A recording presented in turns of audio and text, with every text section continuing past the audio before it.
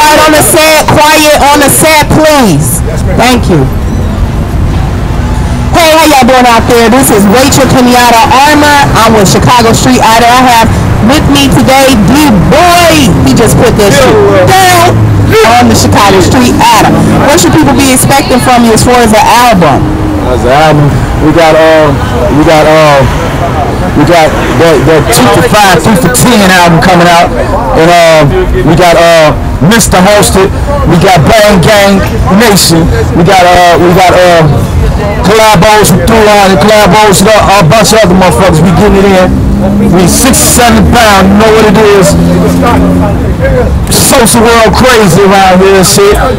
Free, free. You know, fuck. Uh, we got, we got all the guard. King Lloyd, 300 OTF, Brain Gang. We in it. And much that's you know. Alright, so uh, so what? Uh, why should people vote for you um, as a Chicago Street Idol?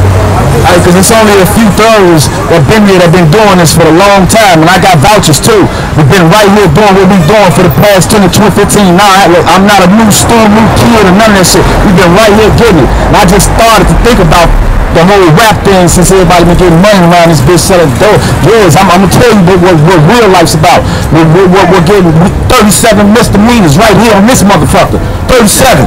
Right here, 39. Buying out all day, every day. And I'm right back to make what I got to make.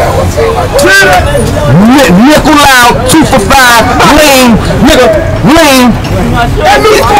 We square. And bills. Bills. Black Hawks. Black Hawks. Hockey pucks. Alright, shit, oh, Thanksgiving shit get live right here on 67. Avenue crazy. Avenue crazy. L's. Alright, y'all, stay tuned. Stay tuned.